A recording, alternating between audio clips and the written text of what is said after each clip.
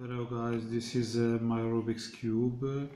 I've uh, bought it with one dollar and uh, I have uh, solved it uh, once but it keeps broken itself so I have decided to dismantle it and to see what's inside of it. Okay, okay, we'll try to dismantle it now. I will remove the corners first.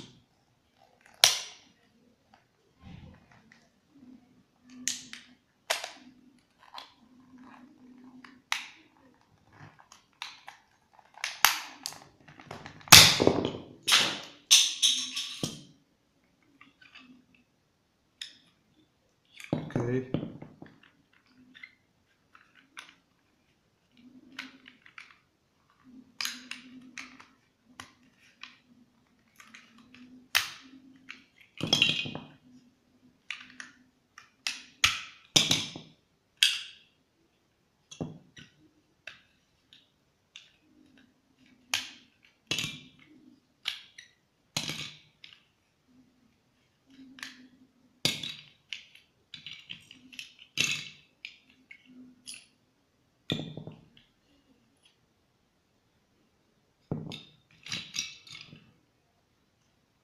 Okay, there is one uh, missing piece here.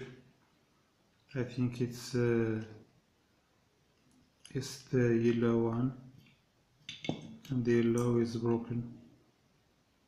Yes, it's broken. So I've heard of, uh, of a fidget spinner that can be made out of, uh, of a Rubik's cube like that. So uh, I will try and see if uh, if it works. Okay.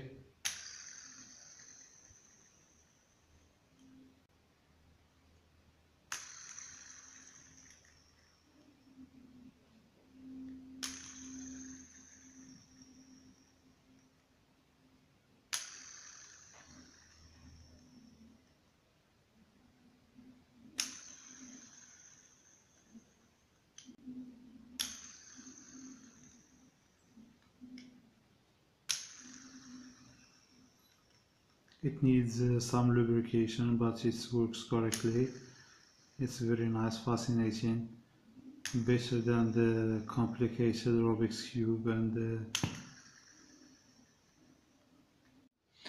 As you have seen, the cube uh, lacked the adjusting mechanism, so it could hardly be called a toy.